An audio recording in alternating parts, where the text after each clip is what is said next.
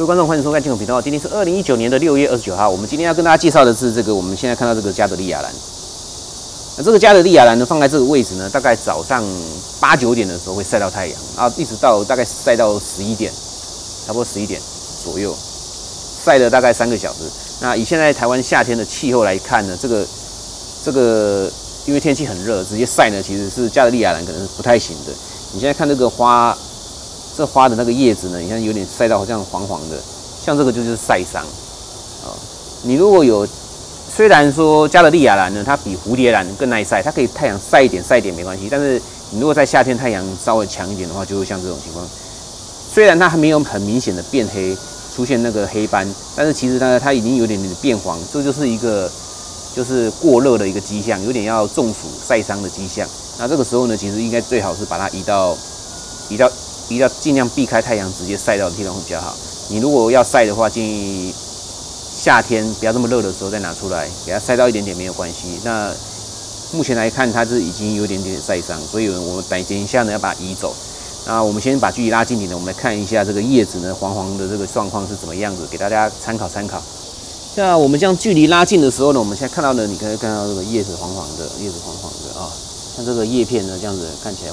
该是绿色的啊。就已经有点偏黄，像这个绿色的部分也有点偏黄，这就已经有一点点微微，这叫些微的晒伤。如果你再继续，如果你再晒严重一点，它就整个会变黑了哦，就可能变黑。所以呢，像这种情况呢，有一点黄黄就是一个警讯了。其实我们就应该要先移走，你不移走的话，它就有可能再过一阵子就有可能出现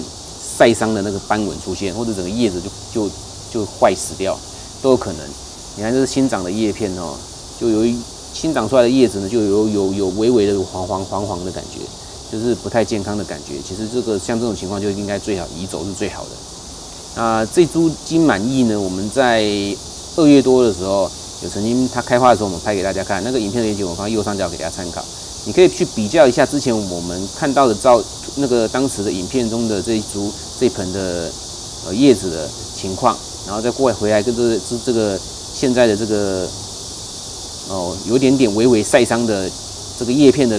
情况呢，来做个比较，就很明显的就可以看得出来说，当时的叶片比较绿，这现在叶子比较黄或偏黄，哦，所以呢，我们今天呢就是跟大家讲说，你如果你的虽然呢，网络上人家都跟教大家说金满意呢，就是说加德利亚兰呢，它虽然比较比蝴蝶兰耐晒，它可以稍微晒一下，但是你尤其是夏天的时候，台湾夏天很热。你不要去，也不要说刻意的让它晒，因为像我我我这个方向呢，我让它晒晒了，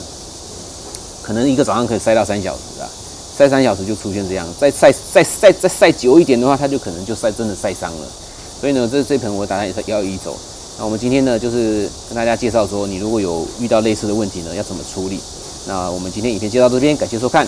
再会。